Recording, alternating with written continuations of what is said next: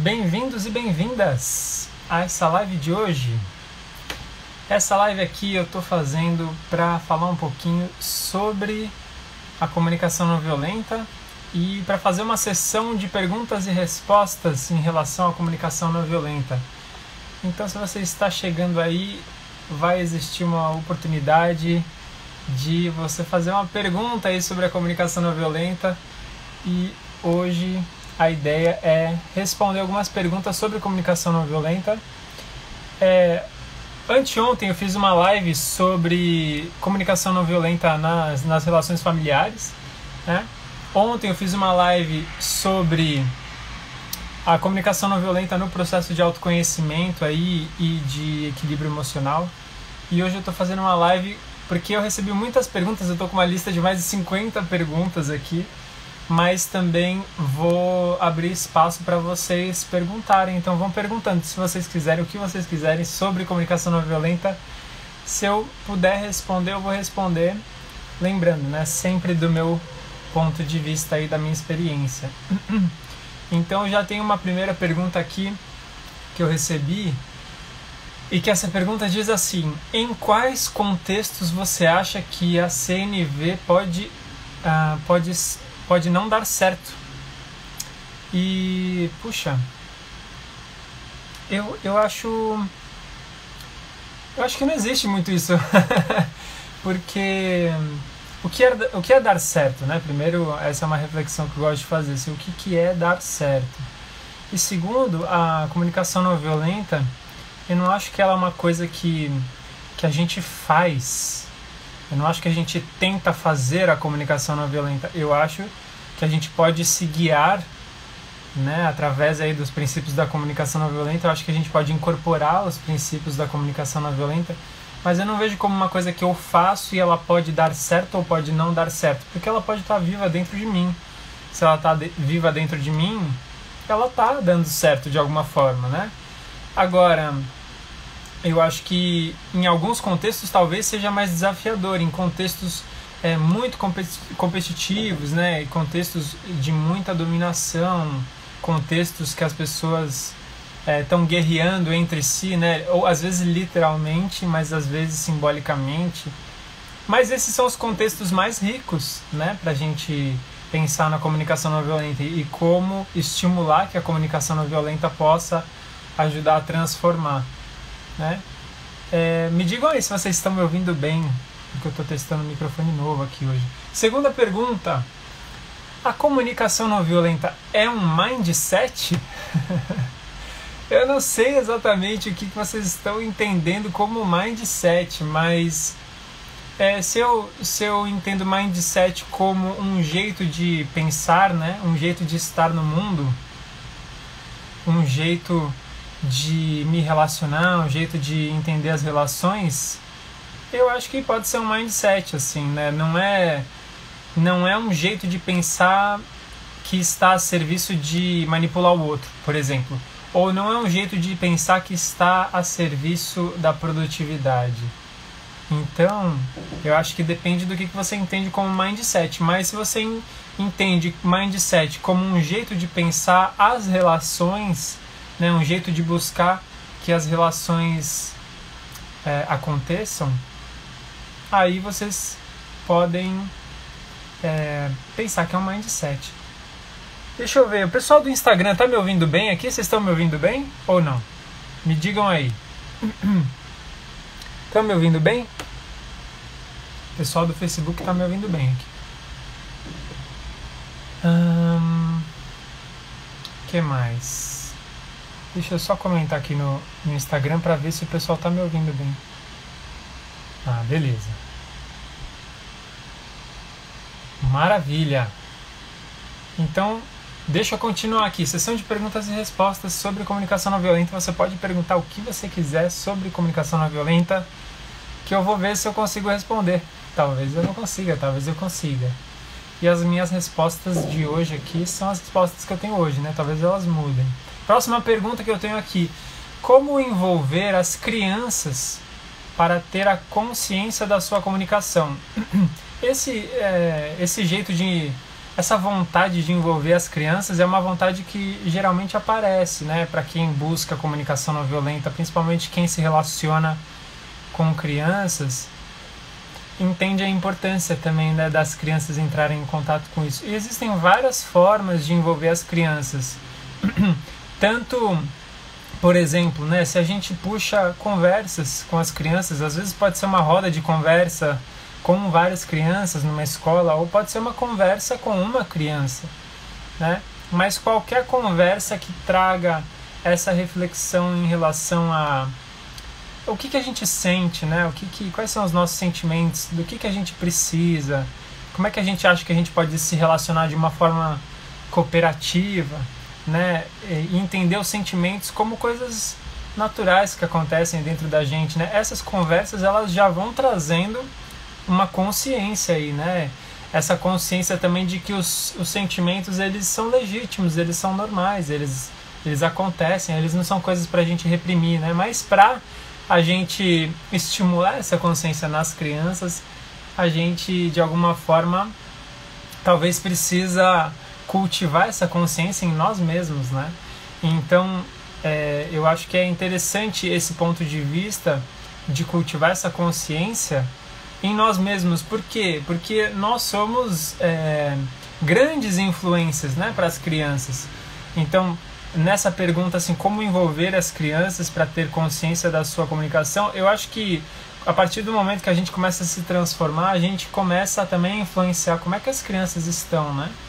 Então a gente pode influenciar mais diretamente as crianças e convidar as crianças para conversas ou atividades, né? atividades que as, as crianças mergulhem aí nesses assuntos das necessidades delas, da, dos sentimentos delas.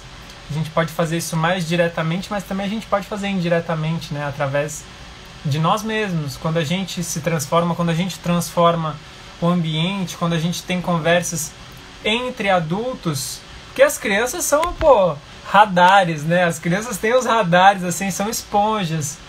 Então elas vão absorvendo tudo que está no ambiente, muitas vezes é, de uma forma inconsciente, assim, às vezes nem, nem parece que a criança está sacando o que está rolando lá, mas ela está sacando tudo, né? Então, é, a partir das nossas casas mesmo, a gente conversando cada vez mais sobre esses assuntos, sobre nós, sobre as nossas vulnerabilidades, isso tudo ajuda muito as crianças a irem cultivando essa a consciência, né? Próxima pergunta que eu tenho aqui, se vocês quiserem mandar pergunta aí também, mandem perguntas. Próxima pergunta que eu tenho aqui sobre comunicação não violenta é: Como lidar com a raiva? Essa pergunta também é uma pergunta que aparece muito, assim, e eu acho que não tem um jeito certo, tá? E, e comunicação não violenta não acho que propõe um jeito certo de lidar com a raiva. Mas existem alguns jeitos que podem ser jeitos que façam sentido para você se você quiser testar, né? Então, é, primeiro de tudo, eu acho que a raiva, muitas vezes a gente julga a própria raiva, né? Ou a gente julga, ou as outras pessoas julgam. Né? Outro dia mesmo eu estava eu tava incomodado, assim, eu estava frustrado porque outra pessoa estava com raiva. Eu parei um pouco e falei assim, nossa, eu tô, tipo, eu tô com raiva porque a pessoa tá com raiva, né? Na minha cabeça eu não queria que ela estivesse com raiva. E aí, ao mesmo tempo, eu parei e pensei, poxa, mas raiva é um, é um, é um sentimento legítimo. Então, acho que legitimando a raiva, eu acho que esse é um ótimo começo, assim, né? Quando a gente legitima, legitima a raiva, isso eu acho que pode ajudar muito a gente. E que é diferente de a gente legitimar o comportamento daquela pessoa, né? Então, às vezes eu não concordo com o comportamento, ou mesmo eu, eu quero interromper aquele comportamento porque aquele comportamento está de alguma forma botando em risco a minha integridade, mas ao mesmo tempo eu acho muito importante a gente poder ter espaços que legitimam a raiva. Porque reprimir raiva é um negócio tóxico, né? Não sei se alguma vez você já estava com raiva e a pessoa falou assim: ah, mas não fica com raiva. E, e não é assim, né? Não é do nada que a gente liga uma chave assim e fala: ah, beleza, passou, só porque você falou para não ficar com raiva. Então a raiva ela tem uma energia muito forte e dependendo de como a gente lida com a raiva também, se a gente não canaliza a raiva para uma ação destrutiva, né, que pode ser uma ação destrutiva de mim mesmo ou pode ser uma, uma ação destrutiva da outra pessoa, se a gente canaliza essa energia, A raiva tem uma energia muito forte, muito potente, né? Inclusive fisicamente, assim, quando a gente sente raiva, vem uma, uma energia muito forte nas mãos, assim, uma energia de ação, né? Então, é, é uma energia preciosa e que pode alavancar a gente para sair do lugar, porque um, um, uma das preciosidades que eu acho que a raiva tem é exatamente esse poder de, de mover a gente, né? Mas se a gente é, usa a raiva para comportamentos destrutivos, aí eu acho que a gente está perdendo bastante, né? Está perdendo até uma oportunidade de usar essa energia preciosa para trazer transformações saudáveis, né? Próxima pergunta. Ah, apareceu uma pergunta aqui da Maria. Como lidar com a inveja pelo caminho da CNV? Olha, Maria, Gosto dessa pergunta. Eu acho que assim, eu acho que existem várias, várias formas. É, uma dessas formas é a seguinte: eu primeiro eu identificar assim qual, de qual inveja eu estou falando. O que, que eu estou chamando de inveja, né? Essa inveja que eu estou falando é uma inveja que outra pessoa está sentindo? Ou será que eu estou sentindo inveja? Porque são, são perspectivas diferentes, né? Uma coisa é se eu acho que alguém está sentindo inveja, e talvez essa pessoa esteja, talvez essa pessoa não esteja. Mas talvez na minha cabeça eu estou me contando uma história de que essa pessoa está sentindo inveja de mim, por exemplo. É, eu diria assim que é saudável essa pulga atrás da orelha. Será que essa pessoa está mesmo sentindo inveja de mim? Porque talvez ela esteja sentindo outros sentimentos parecidos né? Mas se eu falo por ela, é, é, é, é, eu acho que é problemático, né? Porque às vezes eu, eu tô falando, ah, por exemplo, né? Você tá sentindo inveja de mim e às vezes a pessoa tá sentindo outra coisa, né? Então eu acho que sempre vale essa pulga atrás da orelha da gente se perguntar, será que essa pessoa tá sentindo mesmo isso que eu acho que ela tá sentindo? Isso é uma, uma coisa, né? Outra coisa é assim, a gente sempre tem controle sobre nós, né? E sobre os outros é muito mais difícil de ter controle. Então, se alguém está sentindo inveja de mim e de alguma forma eu quero fazer alguma coisa sobre isso, o que será que eu consigo fazer sobre isso, né? Eu posso lidar com essa sensação, esse desconforto de, de ter essa sensação de que alguém está tendo, tá sentindo inveja de mim, né? Como é que eu lido com isso? Será que eu preciso de apoio para lidar com isso? Ou será que eu quero falar com a pessoa? Será que eu quero apoiar a pessoa? Né? Então tem todas, todo esse mapeamento de coisas que talvez eu possa fazer para lidar com a inveja do outro. Agora, com a minha inveja, isso também é interessante, né? que é assim, quando eu percebo que eu estou sentindo inveja. Peraí. O que fazer quando eu percebo que eu estou sentindo inveja? Eu acho que um caminho saudável é primeiro, né? Eu acho que um caminho saudável é primeiro legitimar que eu tô sentindo, isso que eu tô sentindo mesmo, e, e reconhecer, porque muitas vezes eu fico lutando com o sentimento que eu estou sentindo. E essa luta interna com o sentimento, ela pode ser muito tóxica também, né? Então eu tô sentindo alguma coisa, aí eu fico é, com raiva do fato de eu estar tá sentindo isso, ou eu fico triste porque eu tô sentindo inveja, ou eu fico culpado porque eu estou sentindo inveja, ou eu fico com vergonha pelo fato de eu estar tá sentindo inveja. Então, às vezes, tem todos esses sentimentos que vão sendo puxados pelo fato de eu estar tá brigando com o sentimento interno. E aí, se eu estou sentindo inveja e acolho isso, eu acho que é um jeito de começar a cuidar, né? Então, assim, é, oficializo, estou sentindo inveja. E aí dá pra dar um mergulho aí nessa inveja e investigar o que, que será que está por trás dessa inveja, né? Então, geralmente, eu acho que a inveja ela tem a ver com uma talvez com uma, uma tristeza, talvez misturada com raiva, né? De eu ver alguém vivendo alguma coisa que eu gostaria muito de viver. Então tem um pouco essa dor, né?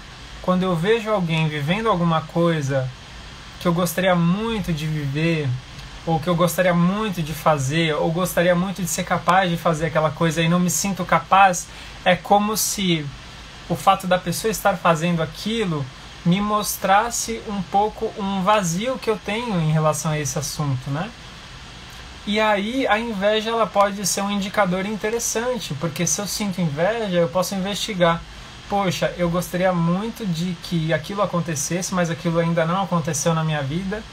Então, eu acabo ficando triste, frustrado, né? Às vezes até com raiva da outra pessoa, e a outra pessoa às vezes não fez nada, ela só tá vivendo a vida dela. Mas eu olho para a vida dela e fico com essa com essa amargura assim, né?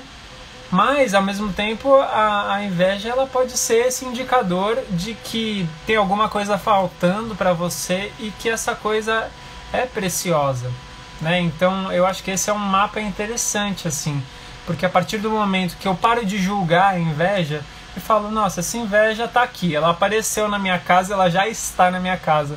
O que, que eu faço com ela? Eu posso tentar trocar uma ideia com ela e ver que informações interessantes ela traz sobre mim mesmo, né? Sobre a minha vida, sobre o que, que falta, o que está faltando. E será que eu posso ir atrás disso que falta? Né? Do que, que será que eu preciso para ter mais condições de ir atrás disso que falta?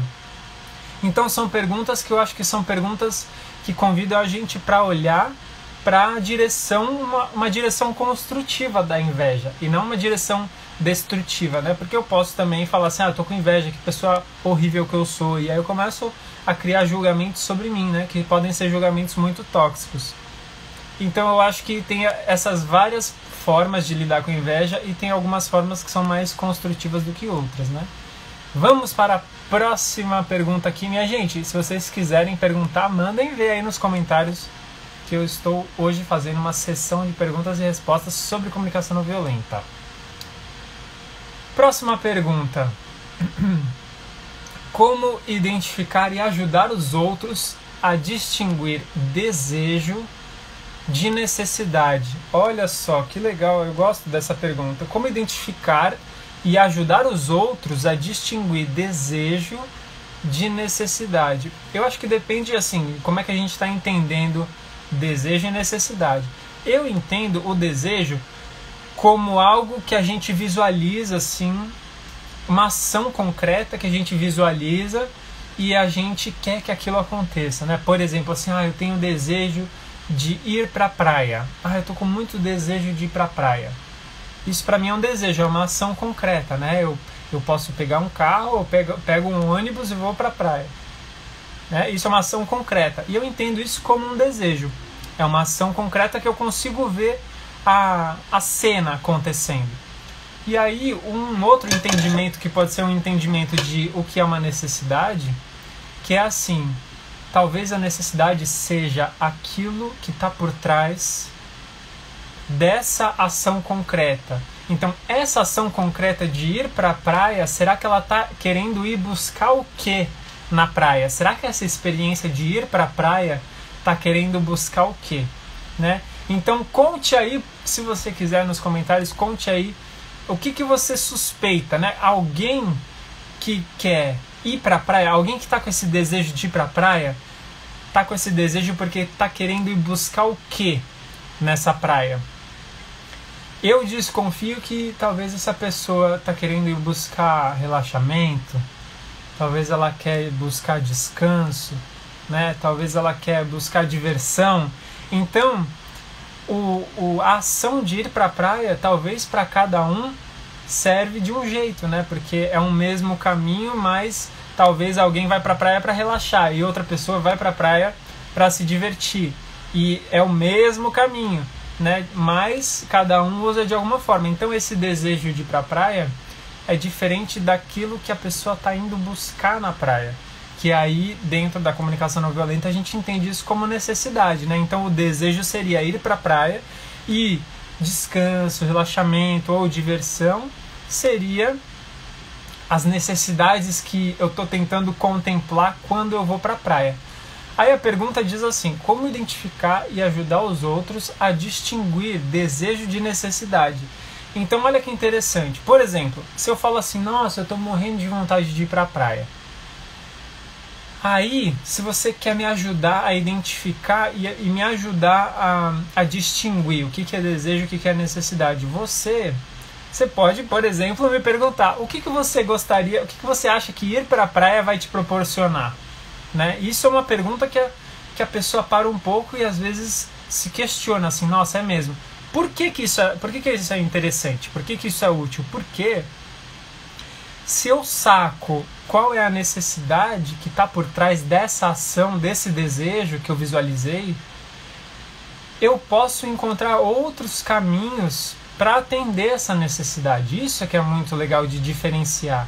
Né? Então, por exemplo, se eu falo assim, ah, realmente eu estou querendo ir para a praia porque eu estou querendo descansar, estou querendo aquela sensação boa assim de, de, de, deitar sem compromisso, né? Eu estou querendo é, ficar tranquilo. Então eu vou sacando todas essas coisas que eu estou sentindo falta na minha vida, né? E aí, se, porque assim, se eu ficar apegado à ideia de ir para a praia e eu não conseguir ir para a praia, eu vou ter uma experiência muito frustrante e vou achar que as minhas necessidades não vão poder ser contempladas. Mas se eu saco quais são as necessidades que eu imagino que vão ser contempladas, né? Com esse, com esse desejo de ir para a praia, eu posso pensar em outros caminhos. Então eu posso pensar, bom, eu não posso ir para a praia. Mas como é que eu poderia, será que eu poderia desenvolver alguma outra estratégia aqui dentro do que eu posso fazer para sentir essa tranquilidade, para sentir essa, esse descanso ou para me divertir, então eu estou percebendo que essas são necessidades que estão latentes e eu estou tentando encontrar outros caminhos. Né? Eu acho que desse jeito a gente pode se ajudar, assim, porque a gente é um trabalho criativo, na verdade, né? Essa coisa de você identificar um desejo, identificar quais são as necessidades por trás desse desejo e se esse desejo não pode ser contemplado desse jeito que você gostaria muito, como é que a gente usa a nossa criatividade para pensar em outros caminhos. Né? Então, assim, se eu estou querendo muito relaxar, quais são os caminhos? São infinitos caminhos, mas isso depende da minha criatividade também. E depende da minha musculatura, né? Para encontrar alternativas. Deixa eu ver o que mais que botaram aqui. Evelyn colocou uma estratégia para satisfazer uma necessidade. Exatamente, Evelyn. É, a necessidade ela está latente, né? E ela sempre busca uma estratégia. Então, quando a gente não tem consciência desse processo, a gente fica muito apegado aos caminhos, né? Mas quando a gente entende que as nossas ações concretas elas estão sempre buscando atender necessidades nossas, aí a gente começa a sacar que, opa, eu estou tentando atender necessidades. Quais será que são essas necessidades, né? E e será que esses caminhos estão funcionando? Porque às vezes os caminhos também podem ser destrutivos. Né? Às vezes eu estou usando um caminho para relaxar que é destrutivo. Por exemplo, se eu estou é, bebendo demais, ou se eu estou usando alguma droga que me relaxa é, a curto prazo, mas a longo prazo aquilo me destrói, talvez esse caminho está sendo destrutivo. Né? Então, geralmente, os nossos vícios eles estão. É, relacionados com a gente buscar contemplar alguma necessidade naquele vício, né? E vício pode ser muita coisa, não só drogas, e, e, drogas existem as drogas ilícitas e as lícitas, né? Mas também existem as outras coisas, como o Facebook. Porque, por que, que eu fico no Facebook lá horas? O que, que será que eu estou tentando buscar nesse Facebook? Será que é relaxamento? Pode ser. Será que está relaxando mesmo? Então essa, esse questionamento é muito precioso, né? O que mais que apareceu aqui? Como passar a ter estratégias menos catastróficas para atender minhas necessidades? Maria, eu, eu gosto dessa pergunta porque é, às vezes a gente tem estratégias catastróficas mesmo, né? E eu tive muitas estratégias catastróficas na minha vida. Quando eu olho para trás, assim, né? Eu tive muitos caminhos que que muitas vezes são os caminhos que a gente encontra na nossa vida para contemplar as nossas necessidades, né? Então eu, eu vi muitos momentos que eu que eu trabalhei muito sem parar assim e fiquei totalmente destruído porque eu estava tentando ir em busca de alguma coisa, mas aquilo estava sendo destrutivo para mim, né? Ou, por exemplo, momentos que eu saí muito de balada, enchia a cara, ficava muito bêbado assim, fazia coisas meio fora de controle eu estava tentando extravasar, eu estava tentando contemplar algumas necessidades, mas essas necessidades estavam é, possivelmente catastróficas, assim, porque muitas vezes quando a gente usa essas, esses caminhos mais com muito risco, né, eles botam em risco coisas preciosas nossas, assim. Então, acho que esse questionamento é muito legal. As, as estratégias que eu estou usando aí para tentar me cuidar, será que elas estão me cuidando mesmo? Né? Porque muitas vezes ela cuida a curto prazo, mas a longo prazo ela está sendo um, é, um, um processo destrutivo, né? Vamos aqui para a nossa próxima pergunta. Se vocês tiverem mais perguntas, botem aí, tá? Eu tenho uma lista de perguntas aqui também. Vamos ver. Como falar a comunicação não violenta com filhos e companheiro? Olha, eu, eu tem uma coisa que eu gosto de pensar assim é que a comunicação não violenta não é um jeito de falar, é um jeito de entender as relações. Então, a partir do momento que a gente cultiva esse jeito de entender, que é baseado em, em ser honesto, ser sincero com aquilo que está vivo e ao mesmo tempo ser autêntico, né? Falar, falar o que que eu estou sentindo, né? Falar o que que o que que eu estou precisando e ao mesmo tempo ser empático, né? Então não só falar o que que tá pegando, o que que tá vivo dentro de mim, mas também é, receber dos outros o que, que é para os outros. Então esse jeito da gente se relacionar, eu não sei se tem palavras certas, não sei se tem um, jeito de falar comunicação não violenta, mas tem esse cultivar, assim, né? De cultivar, de, de explicar o que, que eu estou sentindo, do que, que eu estou precisando, o que, que é importante para mim e também ouvir das outras pessoas o que, que elas estão sentindo, o que, que é importante para elas, né? E também uh, um jeito de olhar para as relações que não seja um jeito assim baseado na disputa de poder, ou baseado na dominação, ou baseado é, num, num eu mando, você obedece, ou as coisas vão ser do meu jeito. Né? Então a comunicação não violenta convida a gente para essa relação mais cooperativa, para essa relação de co-construção também. Assim. Então, se a gente está se relacionando de uma forma que a gente está co-construindo, eu acho que a gente está na sintonia da comunicação não violenta. Não existem palavras certas a serem ditas, mas se a gente está construindo junto, se a gente está considerando as necessidades de todo mundo, eu acho que a gente está é, sintonizado com a comunicação não violenta. Então, eu acho que é isso, assim. É, a, essa pergunta disse assim, né? Como falar comunicação não violenta com filhos e companheiro? Eu acho que é isso. Eu acho que é observando como é que a coisa está acontecendo e ajustando, né? Vendo se existe alguma coisa que está fora dessa sintonia da co-construção, que está fora dessa sintonia da parceria. Porque o que tiver fora da parceria, o que tiver fora da cooperação, não está sintonizado com a comunicação não violenta. Vamos para a próxima pergunta. Bem-vindos e bem-vindas quem chegou agora aí. Próxima pergunta e quem quiser botar pergunta aí, fique à vontade também. Como a comunicação não violenta entende os conceitos de hierarquia profissional e família? Eu acho que essa pergunta era da Nath. Nath, eu acho que você está por aí. E eu respondi lá no grupo de WhatsApp, né, Nath?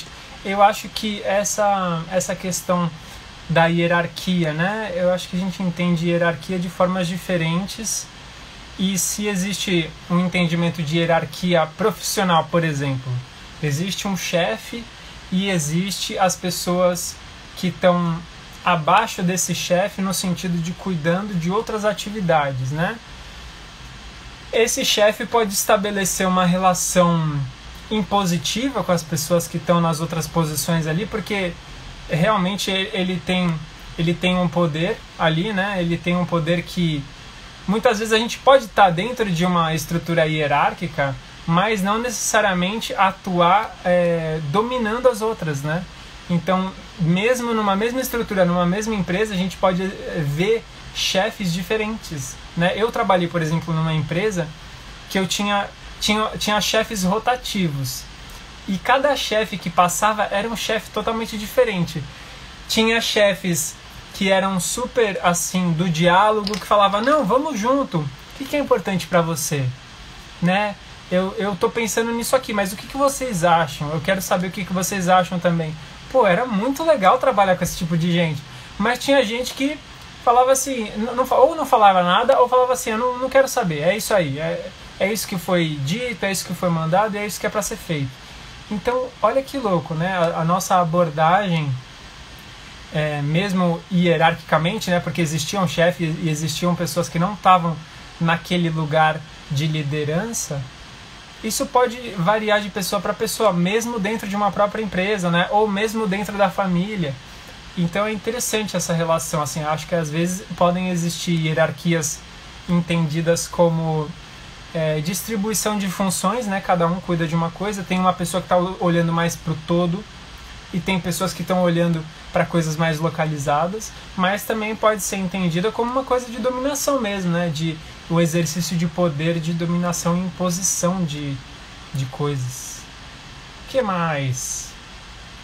Deixa eu ver o que mais que tem de. Ah, Maria! Maria perguntou aqui: comunicação não violenta é seguir os quatro passos? Vou até beber uma água aqui, Maria.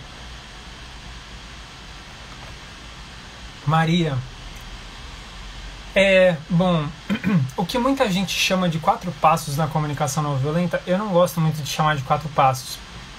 Porque às vezes eu tenho a sensação de que essa ideia de quatro passos passa uma ilusão de que eu vou seguir esses quatro passos e que a coisa vai funcionar. né? Então, na comunicação não violenta tem essa coisa de é, fazer uma observação, falar o que, que eu sinto, falar do que, que eu preciso e fazer um pedido. Né? Esse muitas vezes são considerados aí os quatro passos da comunicação não violenta. Mas eu acho que olhar para a comunicação não violenta assim é um empobrecimento da comunicação não violenta, inclusive porque não vai dar certo. Então eu entendo é, esses quatro elementos como quatro elementos, não como quatro passos e entendo também que esses quatro elementos existem porque eles podem ajudar a gente a olhar para situações de perspectivas diferentes. Porque muitas vezes quando eu estou dentro de um conflito, por exemplo, a minha, a minha perspectiva ela fecha e eu só vejo do meu ponto de vista e eu só vejo de um jeito aquela situação. Muitas vezes eu só vejo uma solução também. Se bobear, eu vejo duas mais três é mais difícil, quatro, ixi, impossível. Né? Então, essa, esses quatro elementos eu acho que ajudam a gente a olhar para uma situação a partir dos quatro elementos e aí abrindo, porque são quatro diferenciações. Né? Então, como é que eu olho para uma situação tentando separar o que, que é julgamento meu, o que, que é opinião minha daquela situação e o que, que é algo que se aproxima do entendimento de não, isso é um fato. Né? Então, essas diferenciações, ou, por exemplo, o que é sentimento meu, o que é julgamento meu sobre essa situação. Então, no processo de ir diferenciando isso, a gente vai abrindo o leque de perspectiva e isso ajuda a gente a ter mais chance de se relacionar de uma forma mais construtiva. Por quê? Porque quando a gente está dentro de um conflito, não só dentro de um conflito, mas principalmente dentro de um conflito, e eu tô com uma perspectiva muito fechada e eu vou me relacionar com a outra pessoa a partir dessa perspectiva muito fechada, é provável que vai dar ruim, porque eu não estou vendo todas as, as possibilidades, eu, não, eu tô vendo bem poucas possibilidades e provavelmente, inclusive, eu estou muito apegado a certos caminhos. Né? Então, quando eu abro o meu leque, a minha perspectiva, a minha visão panorâmica da coisa, e inclusive tento ver a situação a partir do ponto de vista da outra pessoa, isso é muito legal. Porque eu vou me relacionar com aquela pessoa. Imagina, a gente está vivendo um conflito. E aí eu chego para você e falo assim: É, eu imagino que para você tá sendo assim, assim, assim, assim. E eu acho que, pelo que me parece, para você é importante isso, isso, isso. Imagina, imagina se eu acerto. Poxa, você vai chegar nessa conversa com outra energia, né? Porque eu fiz o esforço de tentar entender o seu lado. Então é por isso que é tão interessante é, é esse exercício de abrindo as perspectivas, porque a gente vai ganhando mais informações que a gente pode usar para é, é, chegar em caminhos construtivos e caminhos que facilitem o diálogo, né? O que mais de perguntas vocês têm aí? Deixa eu ver o que mais que eu tenho aqui de perguntas. É qual seria uma forma adequada de começar a estudar a comunicação não violenta? Venha para a jornada de introdução à comunicação não violenta, que vai começar segunda-feira. Esse é um, é um dos caminhos, né? Mas existem muitos caminhos. É, eu acho que não tem um caminho certo, né? Eu acho que tem gente que gosta de ler, então leia, tem vários livros. Tem gente que gosta de ver filme. É, não tem algum filme assim específico sobre comunicação não violenta, mas tem alguns filmes que abordam temas que são comuns né, na comunicação não violenta. Inclusive lá no meu Instagram eu, eu de vira e mexe eu posto algum filme e menciono esses filmes. Também tem os vídeos, vários vídeos na internet que são é, vídeos do Marshall, também o Marshall Rosenberg, que criou a comunicação não violenta. Esses vídeos aí estão na internet, disponíveis de graça. Eu adoro assistir esses vídeos. Mas, fora um, esse jeito de ler, ver filme, ver, ver vídeo, esse é um jeito de ir aprendendo, né? Mas eu acho que é, tem um outro jeito que é botando a mão na massa, assim, fazendo um curso ou fazendo parte de alguma rede de pessoas que estão querendo aprender ou fazendo parte de algum grupo de, grupo de estudos, né? E aí aprendendo práticas que você pode fazer regularmente, não necessariamente você precisa de outras pessoas para fazer, você pode fazer sozinho, mas quando você tem outras pessoas para fazer junto com você é muito mais gostoso e muito mais estimulante, né? Então é que nem, para mim é que nem natação, assim, a gente pode ficar assistindo vários vídeos de natação, mas isso não quer dizer que a gente vai aprender a nadar, né? Então tem esse entrar na água, tem esse começar a nadar, e nesse começar a nadar a gente ir percebendo todos os nossos vícios também que a gente foi é, incorporando durante a nossa vida e esse processo de desconstrução também, porque é um processo de desconstrução porque a comunicação não violenta propõe outro jeito da gente se relacionar. E aí, quando, conforme a gente vai tentando se relacionar desse outro jeito ou observando as outras possibilidades, a gente vai se dando conta do, de quanto que a gente está também automatizado nesse jeito baseado aí na, na competição, no jeito baseado na, na, dominação, na disputa de poder, é, nesse jeito que fica sempre procurando quem é o culpado, né, nesse jeito que fica sempre querendo punir, porque a punição é um jeito de trazer justiça para os relacionamentos. Todo, todas essas é, condições, né, esses condicionamentos, eles estão dentro de nós, assim, então é um processo de desconstrução mesmo. que mais? Tem alguma forma prática de aprender a nomear sentimentos e necessidades? Tem sim. Vamos fazer isso aqui agora, minha gente. Então vamos fazer esse exercício aqui. Como que a gente pode aprender a nomear sentimentos e necessidades? Primeiro, o que, que a gente ganha desenvolvendo essa capacidade? Eu ganhei muito desenvolvendo essa capacidade de nomear sentimentos e necessidades, porque antes eu não conseguia nomear as coisas. E quando a gente não consegue nomear certas coisas, é difícil para as outras pessoas entenderem o que está rolando dentro da gente. Né? É difícil para as outras pessoas entenderem do que, que a gente está precisando, como é que elas podem ajudar a gente. Né? Então, esse processo de ir desenvolvendo essa musculatura também, para mim, foi muito importante, porque conforme eu fui conseguindo identificar primeiro, né, o que, que eu estava sentindo, e aí depois nomear essas coisas que eu estou sentindo, e às vezes esse processo ele vai acontecendo ao mesmo tempo, né? Eu vou nomeando, aí eu percebo uma nova coisa que eu estou sentindo, então tem o perceber e nomear, e perceber e nomear, e é um processo que pode ser um processo cíclico, mas conforme eu vou percebendo o que eu estou sentindo, nomeando isso e também percebendo as minhas necessidades, isso é tão precioso porque, primeiro, eu ganho mais consciência disso, então eu posso nomear para mim mesmo, né? E quando eu nomeio para mim mesmo o que, que eu estou sentindo e do que, que eu estou precisando, nossa, eu já tenho um mapa de mim. E, e, e, eu gosto dessa imagem de mapa porque é muito mais fácil achar o tesouro quando a gente tem um mapa, né? Quando a gente não tem um mapa, é difícil achar o tesouro. Então, quando eu tenho esse mapa de mim mesmo, eu tenho mais chance de ir buscar formas e caminhos que possam tentar cuidar dessas coisas que estão pedindo para serem cuidadas dentro de mim, né? Fora que, quando eu consigo nomear o que, que eu estou sentindo, do que, que eu estou precisando, quais são as minhas necessidades, as pessoas que estão em volta de mim, elas ganham dicas muito mais concretas, mais precisas, que ajudam elas a contribuir com aquilo que a gente está precisando. Né? Porque se eu falo assim, ah, eu estou precisando de respeito. Tá, mas o que, que eu faço? Entende? Ah, eu estou precisando de carinho. É, bom, às vezes para mim, né, para eu que estou falando assim, para mim tá claro isso, mas às vezes para outra pessoa não tá claro. Então eu percebo que eu estou precisando de alguma coisa, mas eu também posso tentar fazer esse exercício de nomear como é que eu gostaria de ver aquela aquela minha necessidade sendo atendida também, porque cada um tem um entendimento diferente, né, do que que é respeito, do que que é carinho, do que que é amor, então, esse processo de desenvolver a musculatura para nomear as coisas é muito precioso. Por isso que é tão legal, eu gosto dessa pergunta, né? Tem alguma forma prática de aprender a nomear sentimentos e necessidades? Tem sim, vamos fazer isso aqui agora.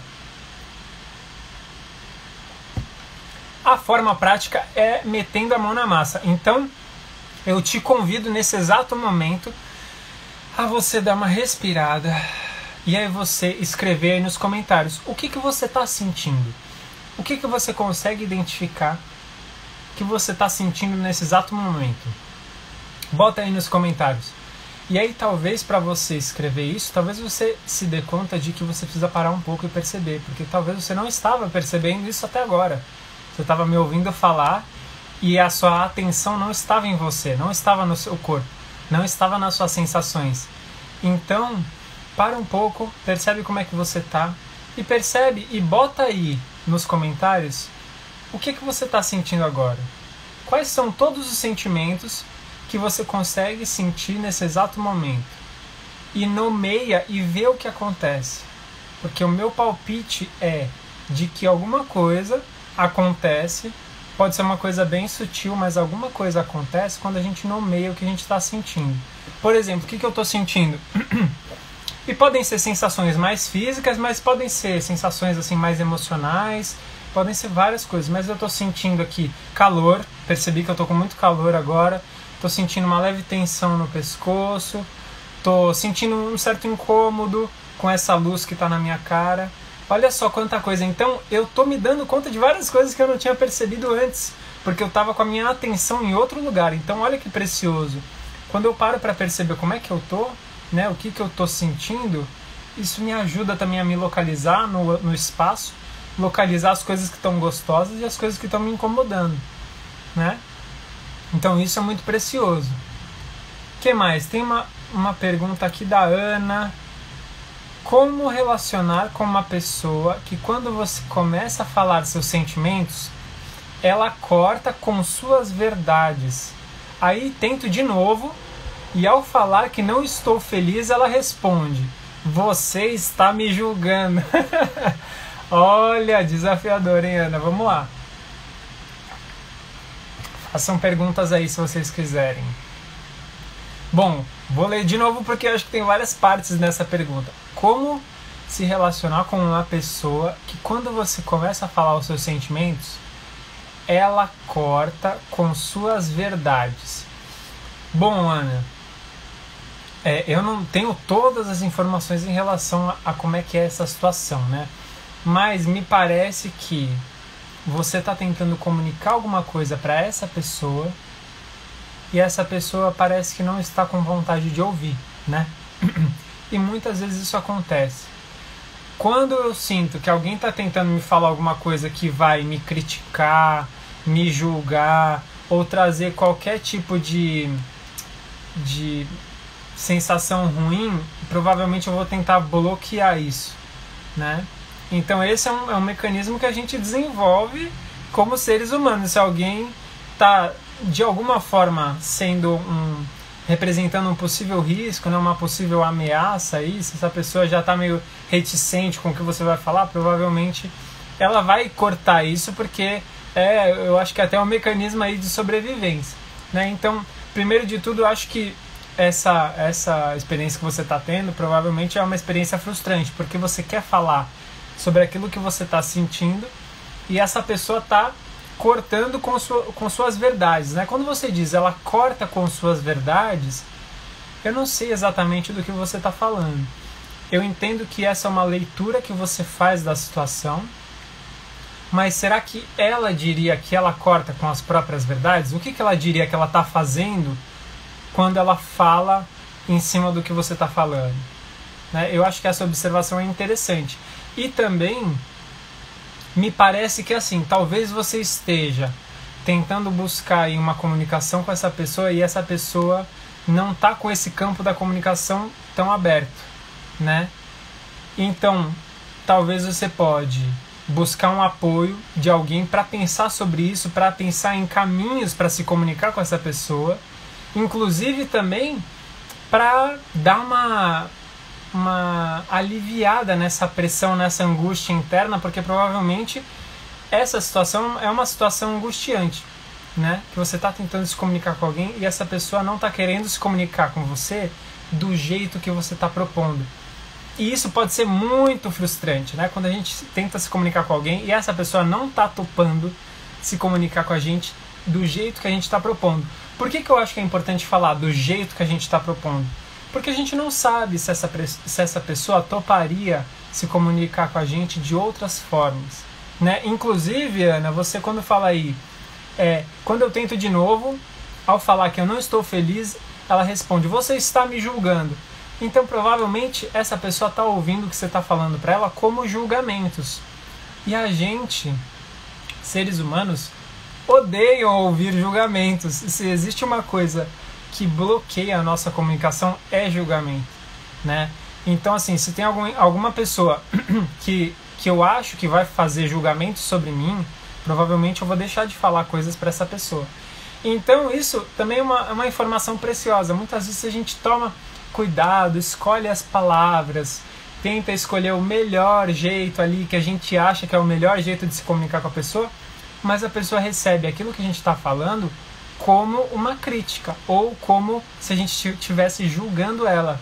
Porque a gente também está condicionado a ouvir assim na nossa sociedade, né? Então a gente vive na sociedade do julgamento, então a gente está condicionado.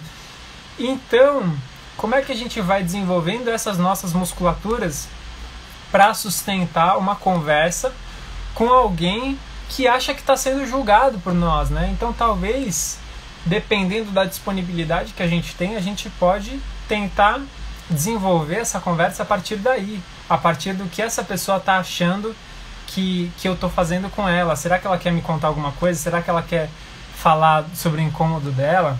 Né? Tem, tem várias, vários caminhos, mas existe uma musculatura que a gente vai cultivando e vai fortalecendo com essas práticas regulares, com os cursos, né?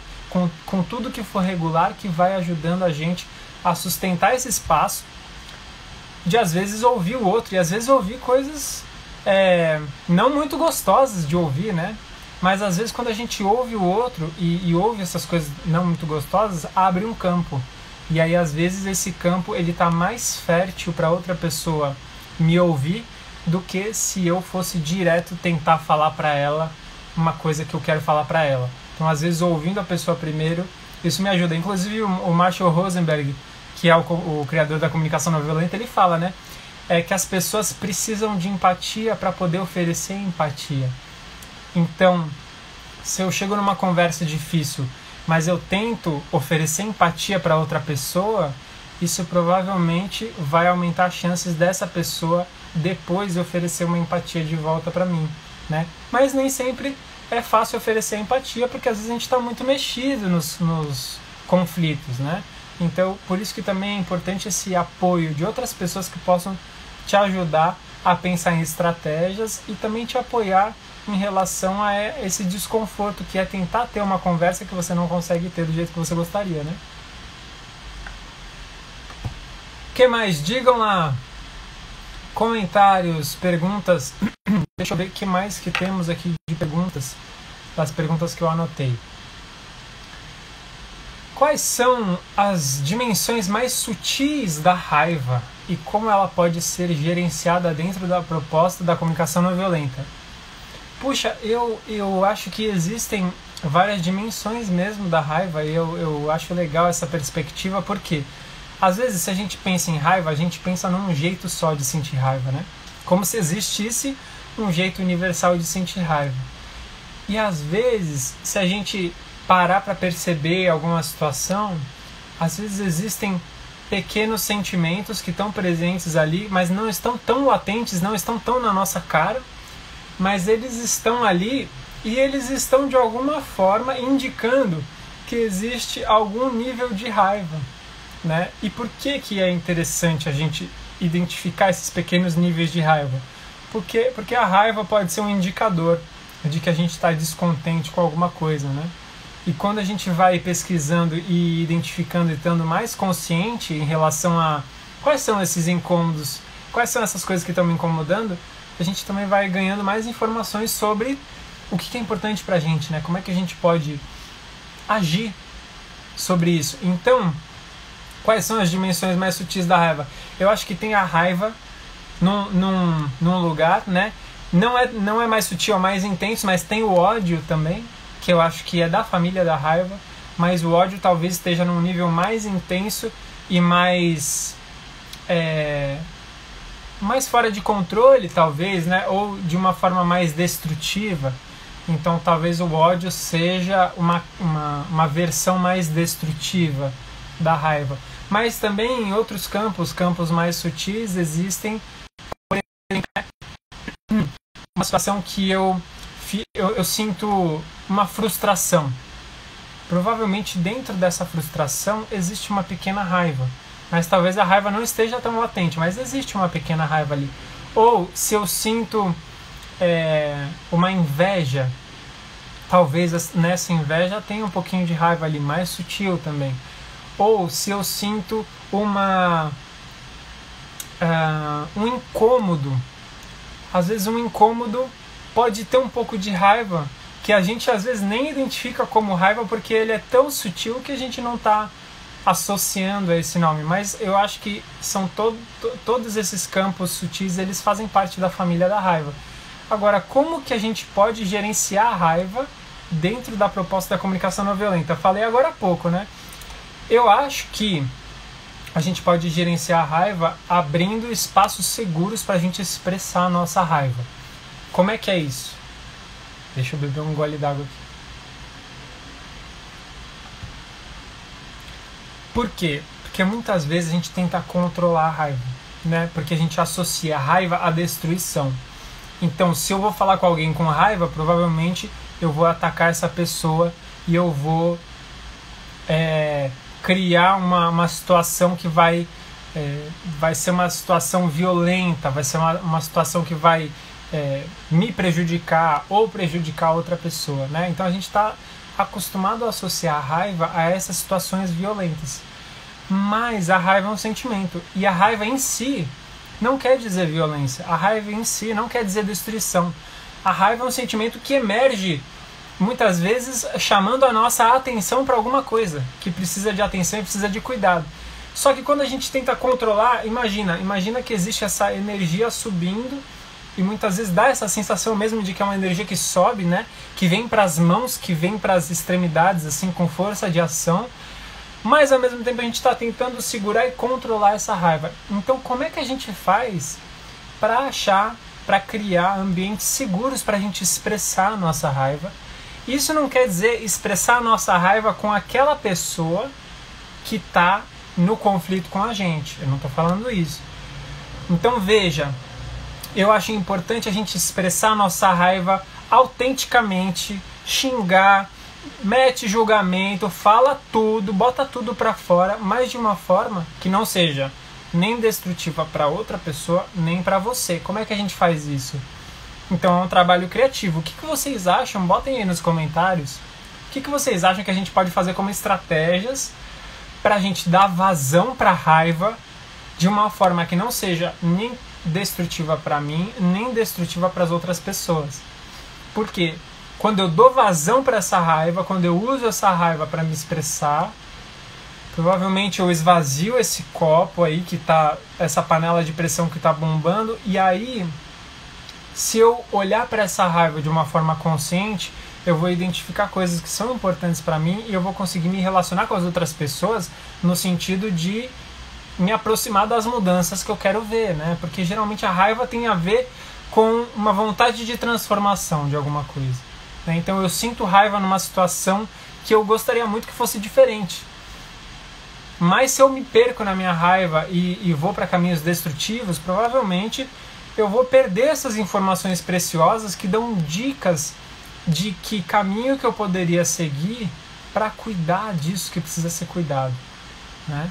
Então, por exemplo, é, em, em, discussões, às vezes vale a pena, se você vê que a raiva está tomando conta de você, às vezes vale a pena você interromper a discussão e, sei lá, vai pro banheiro ou vai pro seu quarto ou saia do ambiente onde você está e aí acha um jeito de expressar essa sua raiva, botar essa raiva para fora, dá uma respirada, percebe o que, que você está sentindo, acolhe, não precisa julgar, não é errado sentir raiva.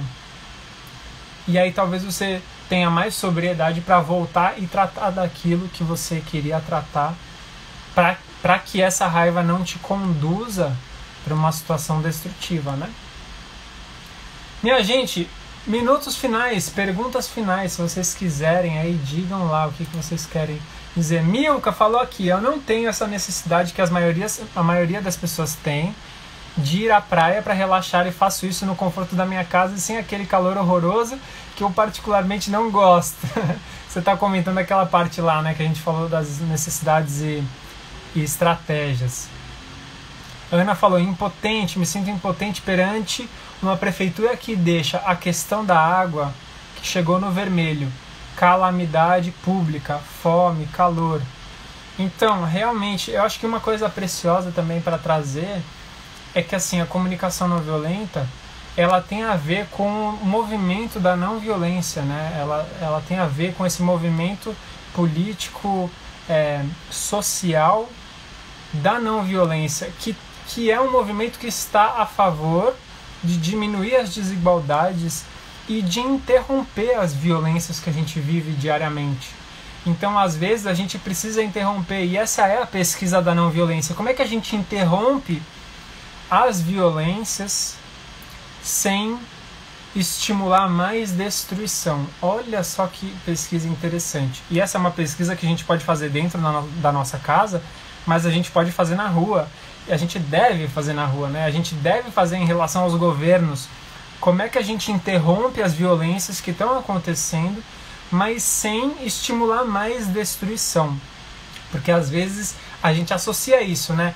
O interrompimento da violência com mais violência. Mas como é que a gente se mobiliza? Como é que a gente é, interrompe mesmo? Por exemplo, o Greenpeace, né? É um movimento, aí é uma organização que se, se guia pela não violência. Então, muitas vezes eles querem chamar atenção para questões é, globais ou questões que, que eles estão achando que são questões urgentes, mas de uma forma que não cause mais destruição. Então eles querem chamar a atenção das pessoas, eles bloqueiam, sei lá, entradas de lugares, eles fazem performances, eles chamam a atenção, mas de uma forma que não seja destrutiva, que seria, por exemplo, existem muitas formas destrutivas de estar no mundo, mas, mas seria, por exemplo, sei lá, batendo em alguém ou é, destruindo alguma propriedade, sei lá. Então, eu acho, por exemplo, Martin Luther King né, é um grande exemplo de alguém que